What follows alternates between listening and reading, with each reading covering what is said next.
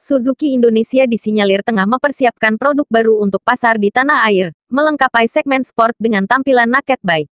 Sepertinya line up naked bike dengan mesin kapasitas 150 cm3 yang bakal menemani GSX tanda hubung S150 itu punya nama besar, yaitu Suzuki Bandit.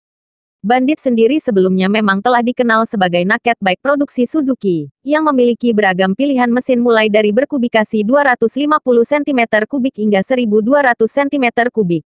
Perihal Suzuki Bandit 150 cm3 tersebut tidak ditampik oleh Johan Yahya, sales dan marketing 2W Departemen Headsis, Suzuki Indomobil Salaes, bakal mengaspal di Indonesia.